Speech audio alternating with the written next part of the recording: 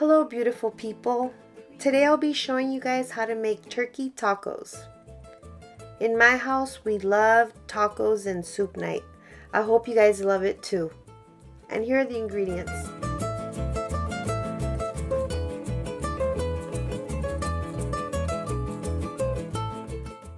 These tacos are also known as taquitos or flautas because they resemble a flute.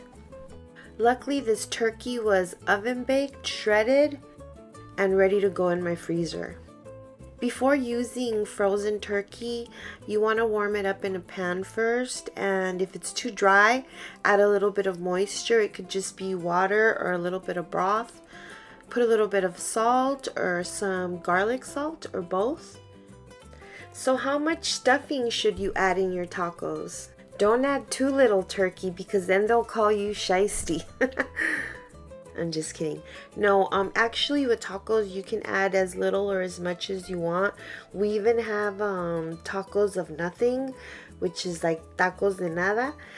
Tortillas that are fresh, soft, still moist. They'll put like a little bit of salt inside, roll them up really tight, and fry them into tacos. And people are, will say like, "Well, what's in these tacos? What are they made of?" And and usually you say, "Oh, tacos of nothing." What do you mean tacos de nada? Yeah, tacos de nada. There's nothing in it. But you know, for some reason they're delicious. Then again, everything that's fried is pretty good. I'm gonna start making the potato tomato soup simultaneously. We're hungry, so gotta get the show on the road. Dice the onion really small. Then you're gonna fry it. You're actually gonna brown it with a little bit of fat. I like using manteca, lard, or coconut oil. Manteca is more typical for all of these dishes. Sometimes when I want that old school flavor, I just go I go manteca all the way. Now that I've blended my tomatoes, my small piece of onion and garlic, and now that the onion is brown, I'm gonna put the pan on high and pour in my sauce. Don't move your sauce. It's very important. You need your sauce to to sizzle. You need the bottom of it to sizzle so that you create a flavor concentrate so you're going to leave your sauce like that until it turns orange.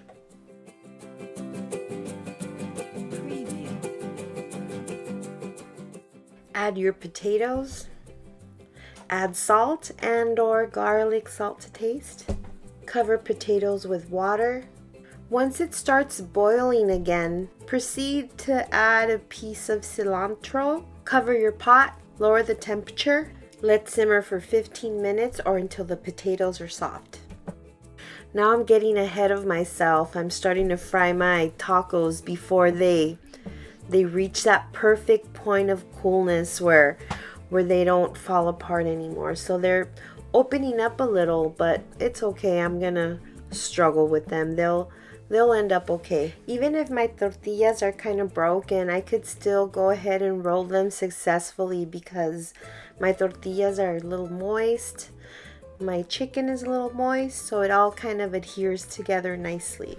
While I give it a tight roll, when the tortillas are broken like this, I like adding chunks of kale or in this case spinach just to patch up the tortilla up a little bit. I place them with the union or the ending of the tortilla face down. This way they cool in that fashion and once they're cool they keep their shape. As you warm up your tortillas, remember to keep them covered. This way they stay moist and ready for, for rolling time. And roll and roll she goes. How many tacos you'll get, nobody knows. Hopefully lots of them. Remember, you could always freeze them. Just fry them a little, not all the way. Let them cool. Freeze them away, hopefully in an airtight seal. This way they will last fresh a lot longer. I don't like my tacos swimming in too much fat, so I put a layer, a considerate layer of fat. As, as the tacos absorb the fat, I add a little bit more And I usually like to go half vegetable oil and half lard. The vegetable oil helps give it a really nice crisp, and the lard gives it an amazing flavor. As I fry my taquitos, I fry some very, very dark. I brown them to the max, and others I leave a little lighter. Some people some people in my family like them super crunchy, super dark. Other people like them more like a golden color. Some people like them fried, like very fried on both on two of the sides, and then they don't want me to fry the other side. They like that feeling of of a little bit of softness also on, in the tortilla. So you try frying them different ways and see what you like best.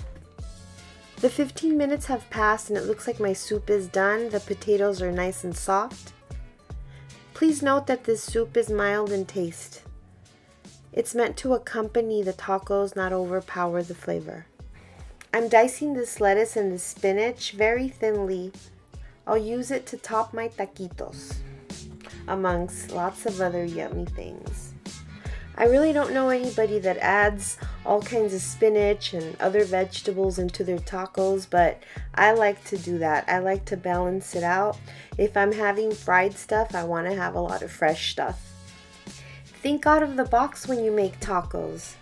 Basically put anything in there. It's so much fun to to make tacos with leftovers. It's pretty much endless. And here you are with everything finished build up your tacos, serve your soup on the side. In this case, I'm instead of instead of using sour cream, I'm using um, Lebanese yogurt. I think they call it Lebanese cheese. I love this product and I use it in a lot of recipes. In this case, I added a little bit of milk to thin it down. You can also add water.